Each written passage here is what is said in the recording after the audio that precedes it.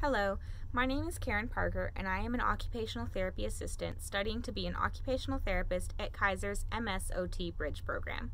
In this video, I would like to discuss the role participations in occupations plays when treating Alzheimer's disease.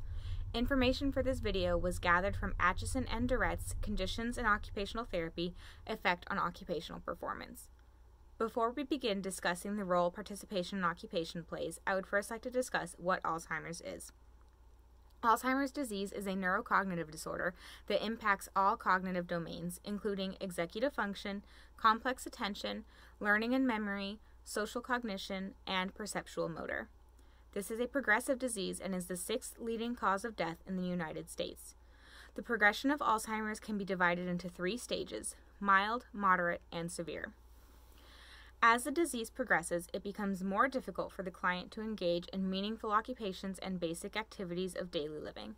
That being said, it is crucial for occupational therapy practitioners to help facilitate participation in occupations for as long as possible. This will help improve the client's quality of life and also help to keep them active and engaged, thus promoting their independence. This can be anything from still participating in basic activities of daily living, such as dressing or bathing, to participating in meaningful occupations such as leisure activities like jigsaw, bingo, or cards. As the client's memory fades, it is essential to focus on the activities he or she still can do instead of focusing on what he or she cannot do. By focusing on maintaining the strengths of the client, occupational therapy practitioners and the client's family members can help to enrich the life of their loved one by promoting maximal performance in preferred activities and helping to prolong independence. Additionally, by helping to prolong independence, occupational therapy practitioners can also help promote wellness in the caregivers.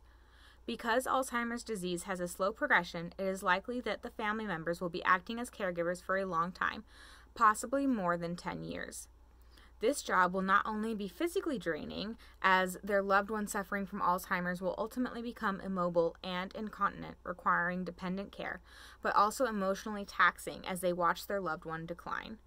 It is important as occupational therapy practitioners to not only address the client, but also make sure to support the caregiver as well and educate them on important topics such as energy conservation, safety strategies, support systems available to them, and ways to prevent caregiver burnout.